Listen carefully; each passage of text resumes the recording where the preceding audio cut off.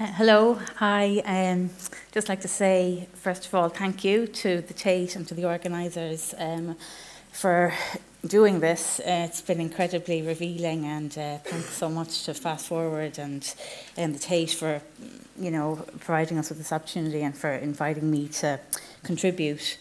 Um, so the, the title of my presentation is States of Colour, Irish and Vietnamese Women, after Albert Kahn's Archives of the Planet. In 1913, Marguerite Mespoulet and Madeleine Mignon Alba visited Ireland to make the first colour photographs of Ireland and its people. These two photographers were the only female photographers to create images for Albert Kahn as part of his worldwide project, The Archives of the Planet. Significantly,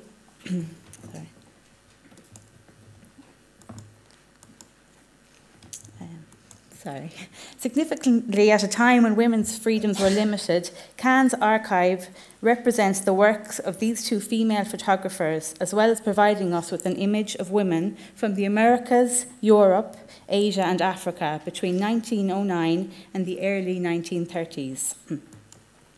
Taken just a few years before the 1916 Rising and the subsequent foundation of the Irish state, the images of Irish women introduce us to the complex and often contradictory role of women within Irish society at this time. Approximately 220 women took part in the rising. The proclamation of the Republic, read out on Easter Monday 1916, reveals the movement's radical inclusion of women and its endorsement of equality for women. Mespoulet and Mignon colour images from the west of Ireland reveal the direct character of women within Irish society at this time. They provide a clue to the dynamism of the 1916 Rising, which culminated in the unification of the struggles for national independence, women's equality and labour, and the cultural revival movement. The role of colour in these photographs reveals a vibrancy of character, a fierceness which suggests the women's role in society, their independence as characters and not simply as elements within a landscape. This kind of focus and identification of character has been mostly absent within black and white photographic representations of poor rural women and fails to depict the role of aesthetics in, in lifting the human spirit above poverty and oppression. Mespoulet's images provide a platform from which to explore Ireland's historic relationship to culture as a revolutionary force. In 1915, Leon Busy, a French officer serving in Indochina, created images of Vietnam and, in particular, women of Vietnam for Kahn's archive. In contrast to the images of Irish women taken by Mespoulet and Mignon, these images have been described in various places as purient, vulgar, voyeuristic, colonialist, and invasive.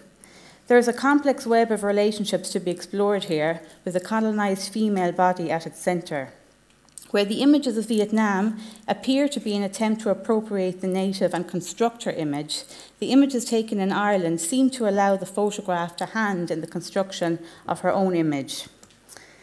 Just as Irish women participated in the Irish Citizen Army, North Vietnamese women were enlisted and fought in the combat zone.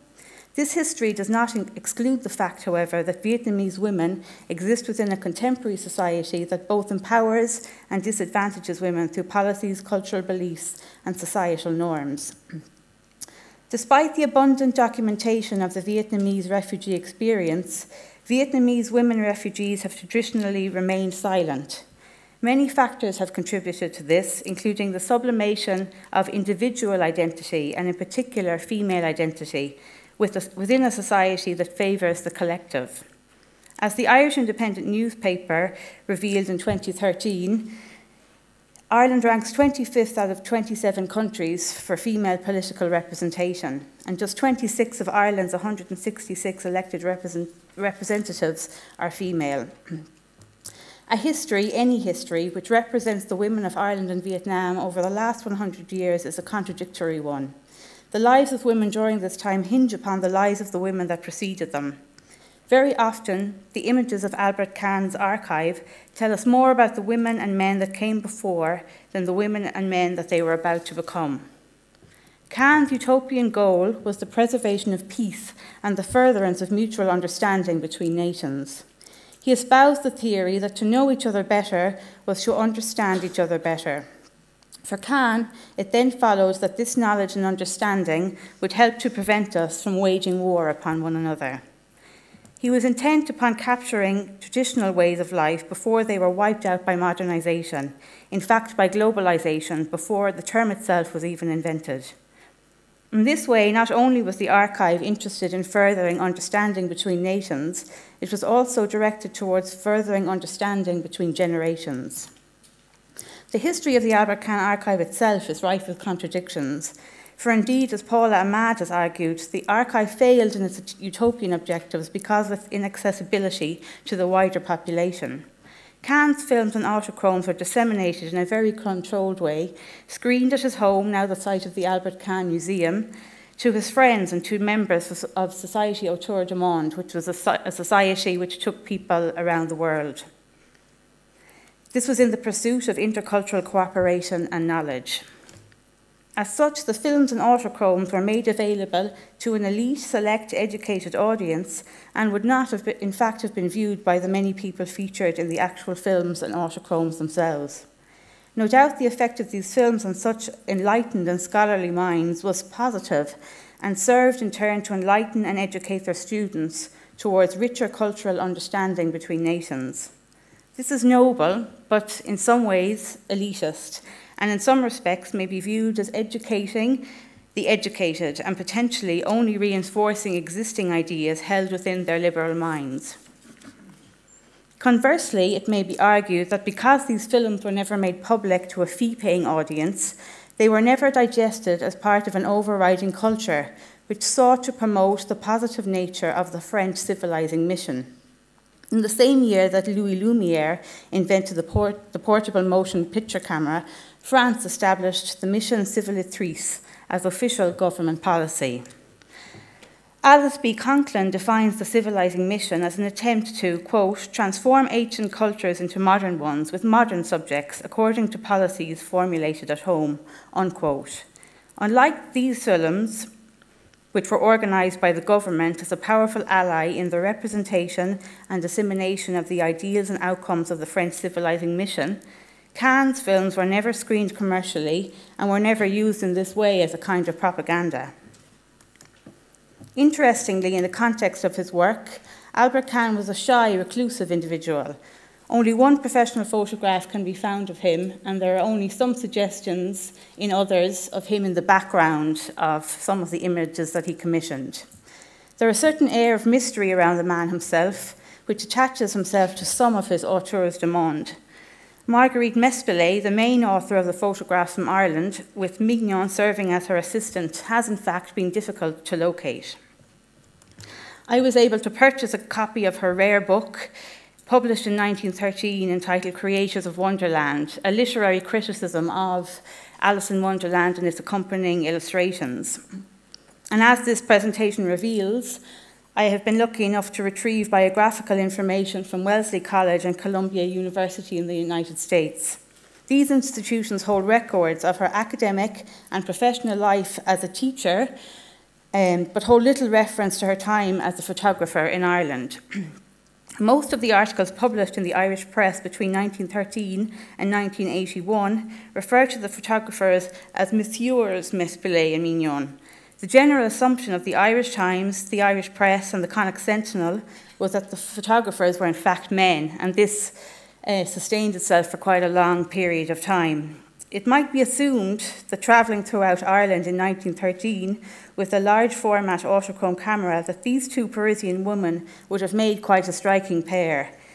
It seems, in fact, that the opposite was true. Their presence seems unremarkable and unremarked upon. Their photographic journey appears to have been unobtrusive in nature. This may go some way towards explaining the quiet connection that they made with the private and guarded women of the west of Ireland. Born in Paris on the 2nd of, of December 1880, Marguerite Mespoulet was 33 when she travelled to Ireland in May of 1913. Ireland at this time would have been a place of great political, social, and cultural unrest.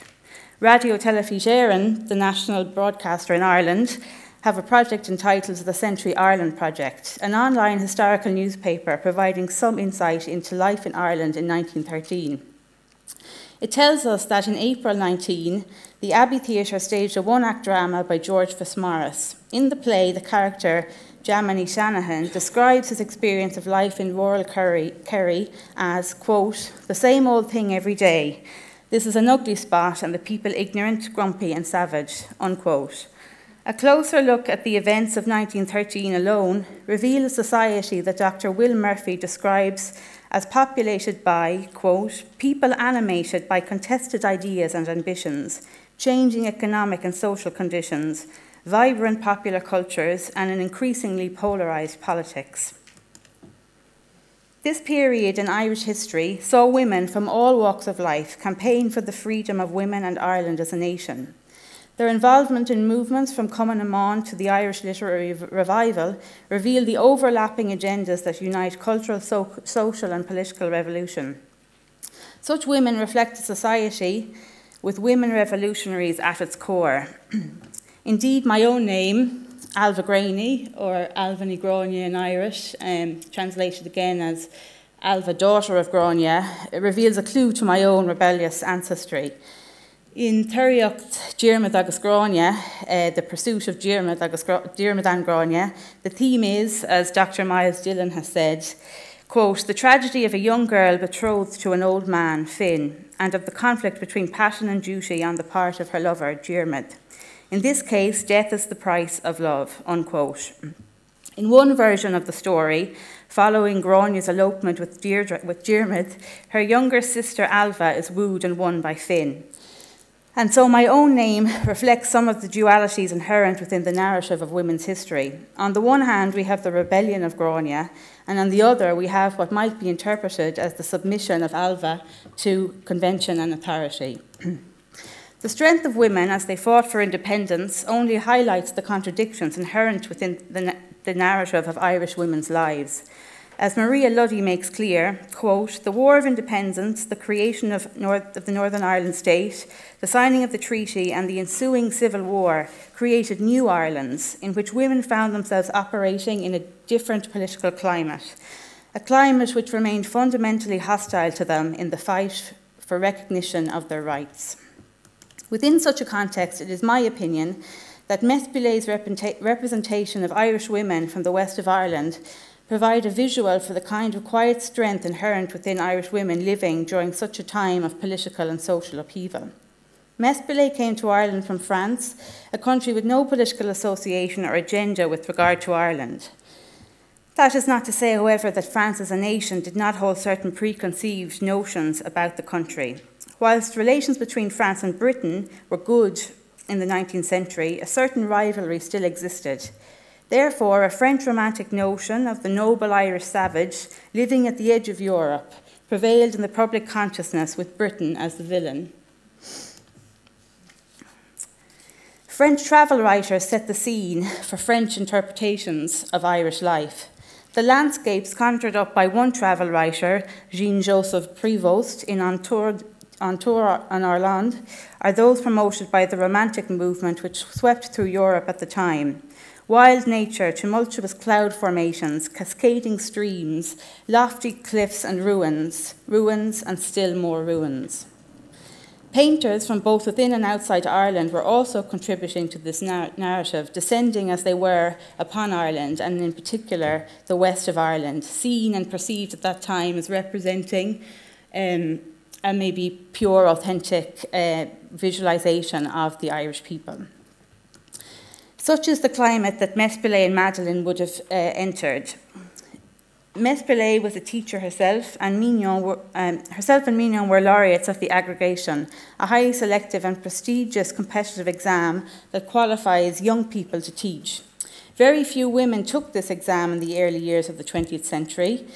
Um, Mespoulet and Mignon can therefore be considered to have been members of the French intellectual elite. As such, we can only assume that their education would have led them to hold certain romantic notions within their consciousness regarding Ireland and her people. Catherine Magnon suggests the extreme likelihood of them having read Marie-Anne de Bovet's illustrated travel diary, first published in 1889 and republished in 1908. Mespoulet's images were first exhibited in Ireland on the initiative of the French Embassy and the Alliance Francaise in 1981.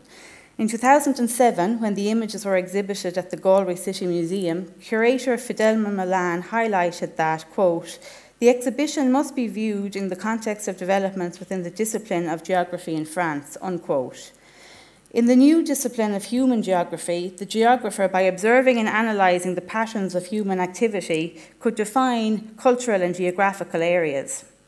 Mespoulet reflected these theories by focusing on more traditional settlements to embody a disappearing way of life. As such, she would not have photographed the types of revolutionary women previously highlighted in this presentation. At face value, there are no revolutionaries here. The women of Mespoulet's archive embody a social and economic history, often neglected in favour of a male dominated political history. Mespoulet's women of the west of Ireland are the poor working women of Ireland. It is these women that she choose, chooses to focus on. For while there are images of the landscape, of mountains, of ruins, of men at work and at rest, the collection focuses on women in a more sustained manner than any other people or place represented. The women she focuses on are predominantly from one area, the Claddagh. The area of the Claddagh, which sits just on the edge of Galway city proper, was a particular place, close to an urban centre but physically and metaphorically separated from the city of Galway by the apparent separateness of its Irish speaking inhabitants. As Callie Blackman in Colouring the Claddagh has observed, it was frequently described as a place apart. These would have been private women, the community insular. Marriage was between people of the Claddagh, Connemara, and the Aran Islands. Even Galway was seen as somewhat alien. The entrance to the Claddagh was at Wolfe Tone Bridge, and no entry by an unknown quantity ever went unnoticed. Um, I've tried to map out to some extent the location of where the images were taken, which was at a gable end of a house um, at the edge of the big grass, um, which lies at the edge um, of the settlement in the Claddagh. Um, and interestingly, the family um, of some of the women um, live just about five minutes from where I'm from in Galway. So they very kindly took me to where the images were physically taken down to minute detail where um, uh, the great grandson has matched uh, a brick in the wall to um, another image of a brick in the same wall that then identifies it as this specific place. Um, Catherine uh, Magnon, in her article Reimagining Ireland uh, through early 20th century French eyes, gives Mespoulet no credit for overcoming what has been noticed, noted as the shyness of the people of the Claddagh. She suggests that the local people's existing fam familiarity with travel writers, artists, and photographers would have lessened this shyness when encountered by Mespoulet. She regards Mespoulet as condescending in her diary entries and condemns the way in which Mespoulet, quote, cheated the shy women into posing and keeping quiet by telling stories and jokes, unquote. Mas Magnon goes on to write that, uh, quote, Madame Mespoulet did not treat the people she met as her equals. She behaved as a charitable outsider who felt for the natives she had come to examine. Uh, Magnon uh, criticises the physical descriptions made by Mespoulet in her diary. She links them to the study of phrenology that the French ladies co um, contributed to the work uh, to and uh, uh, that they contributed to the, the dialogue established by Adolphe um, to conquer the visible world and connect the local with the global by drawing up a new inventory of the real in the shape of archives. Magnon may be correct in criticising the photographer's predisposition towards the ruin and the easy lyrical interpretation of the landscapes based upon pre existing research of travel writers. There is a brevity to the collection of Irish photographs and an inconsistency of location and subject, which reveals that the photographers may not have been as, as knowledgeable as they could have been whilst creating an archive of Ireland. In this respect, the work created in Ireland functions as a flawed, incomplete, disparate record of, or archive of a place. What stands out, however, are the representations of women made by women, not adequately, adequately defined as coming from different nations, but more meaningfully coming from different states of modernity, fractured by separate nationalist agendas. In my opinion, the photographs taken by Mespoulet are clear and direct. The women look into the camera with a gaze that is unflinching. The red of the cloak adds a performative element to the images and ties in with paintings created before and after these photographs were made. The dramatic presence of red in the landscape creates an effect which seems contrived and potentially artificial. The cloak in the images by Mess belonged to the O'Toole family and was only used on special occasions. It can be read as such, passed from photograph to photograph, as it is on this special occasion. Mess in her text, in fact, suggests that this cloak would have fallen out of fashion by 1913 and therefore was little used, confirming the contrived nature of its presentation in these images. The images of the women posed in the cloak direct us to look more closely at the images where the cloak is absent. These are the women at work and suggest more powerfully to us the behind the scenes narrative of the everyday. Here, the elusive muted colours of workaday dress prompt us to a more nuanced reading of their lives. While muted in contrast to the vibrancy of the red, the colour revealed within this dress, absent from black and white photographic render renderings, is that of the landscape that surrounds these women. The soft greys and browns and blues speak to the surrounding landscape, in effect, to the surrounding landscape of labour. As Blackwell points out, blue and not red was the colour of the cloak that had been identified uh, with a woman of the Claddagh for centuries. It was the country women who came into Galway from the outside, from surrounding areas to sell produce, who wore the red hooded cloak, sometimes referred to as the Galway cloak. So, while, whilst working with certain preconceived ideas in relation to the Irish colleen, Mespoulet creates images that actually banish this term to a romantic, fictionalised past. The inclusion of physical descriptions that point to the descendants of Spanish settlers acknowledges a society that is not so insular or monocultural as it might first appear. Whilst reference to fair skinned, true Irish Celts may be naive, and the influence of Spanish settlers more likely to have been located within Galway and not the closed community of the Claddagh, this dialogue opens up a narrative that negate, negates the idea of, of a pure, authentic race. The images of me and Kelly, her mother, and fellow Claddagh women are not idealised. The fabric of their character, of their environment, of their work is in fact a relief from such notions.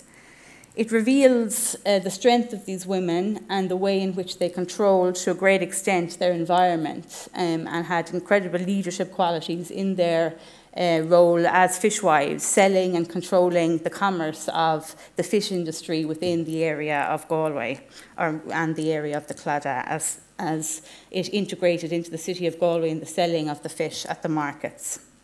Um, went on to become a founding member of the French Association of University Women, and between 1926 and 29, she was vice president of the International Federation of University Women. This is not surprising when one looks back to her brief sojourn as a photographer in the west of Ireland.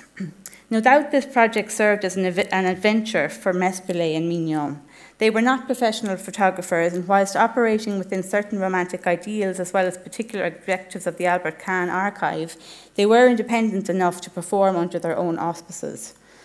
While some of the images of the Claddagh fulfilled the objectives of the Kahn archive, there was no requirement to develop such a series of women when one or two studies or one or two types might have sufficed.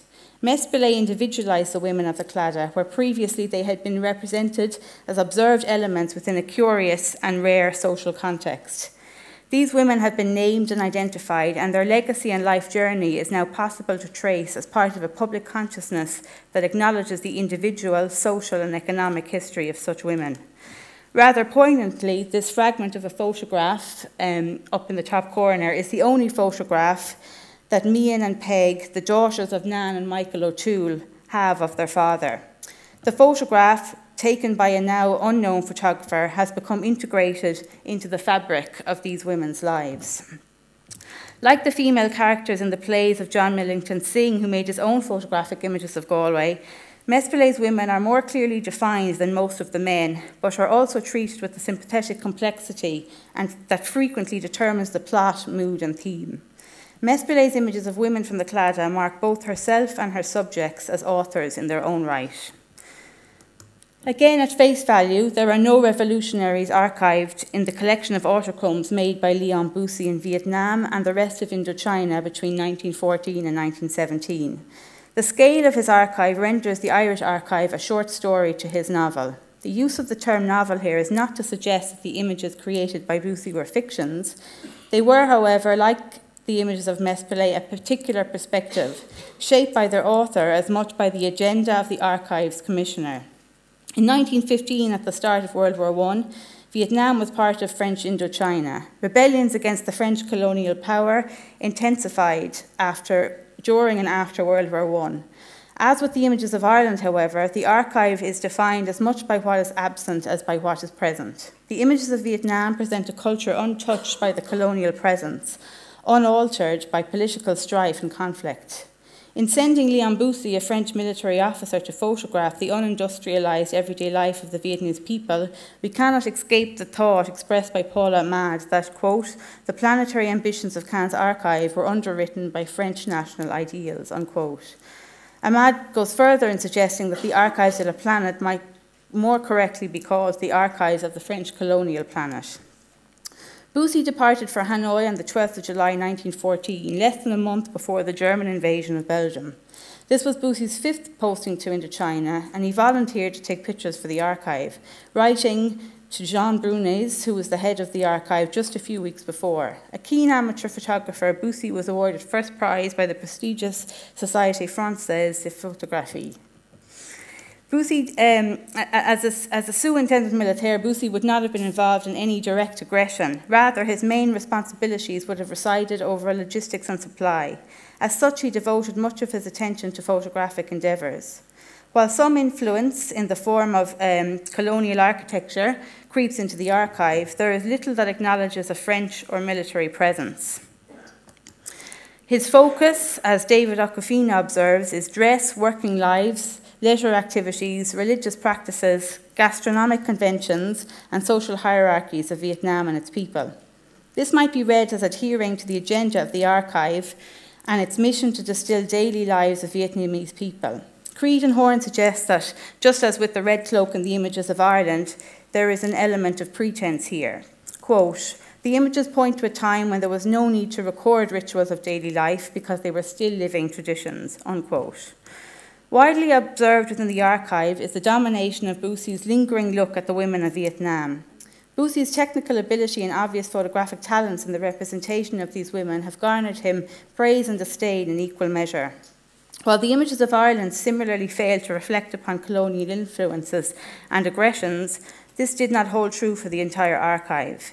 In 1913, during the Balkans War, Brunhes himself and Auguste Leon carried cameras into sites of battle.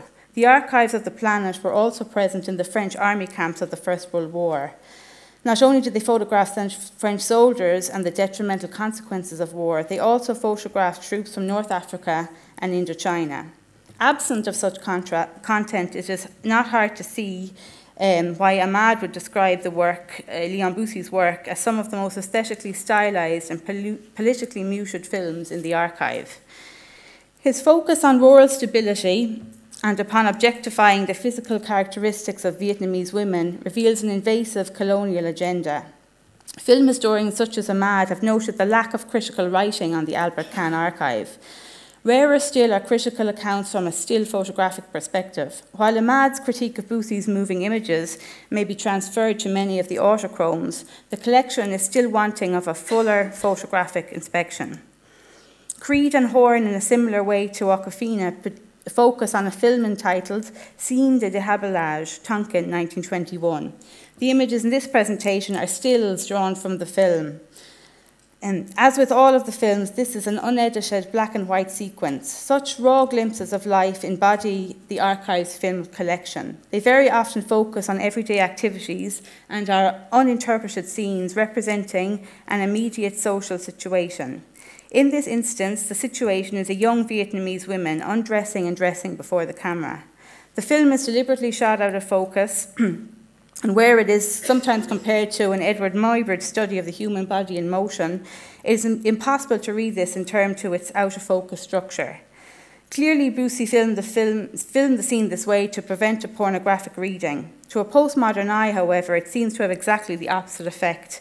When viewed in the context of the volume of lush photographic depictions of women within the archive, it is difficult not to read it as some kind of appreciation or homage to the female form rather than a scientific study of it. However, it is the woman herself who draws this film back from the brink. Unlike Hollywood films, where voyeurism is hidden by the actor's refusal to acknowledge the camera, the subject in these early films more often than not look into the camera, addressing both the filmmaker and the viewer.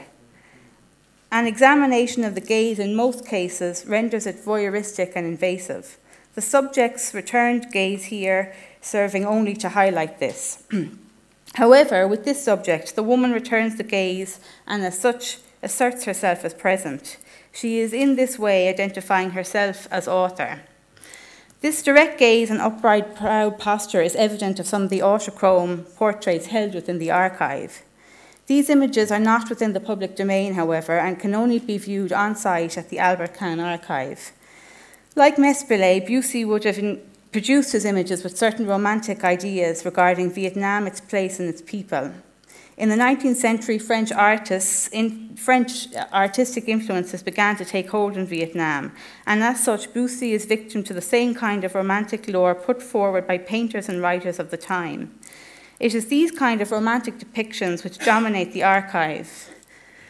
Okay, sorry. And which, um, uh, regarding the archive, uh, my apologies, I've, I've gone uh, really over time. Um, so I'll just move quickly through to conclude. Um, um, some of these images were produced post the Leon Busy's images, um, but reflect the, the dominant sort of romantic perspective as, and the lingering uh, look of Busy over the images. Um, these are some images that do not exist within the public realm and which present the women um, as strong, independent characters in their own right, um, and where they begin in a, in a subtle way to take ownership of their representation.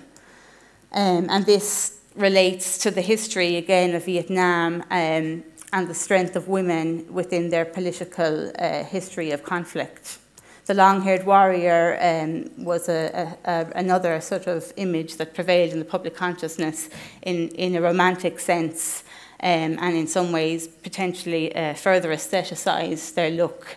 Um, and so to conclude, um, I will just very briefly um, look to some of my images uh, which were inspired or drawn out of um, my research um, within the archive um, and uh, which, which, which attempts to put in place and put back um, a certain kind of um, uh, fabric um, in terms of um, these women's lives. And this work will be shown um, in Paris Photo uh, next week, so there'll be additional images that you can you can come and see. They were drawn from um, um, the idea of the women moving within the landscape as a, a kind of moving garden, um, carrying the, the, the contemporary dress, which which, which represents a kind of a forward motion and a look to the future in terms of how women move through society and reveal themselves um, in a landscape that might be fractured but is still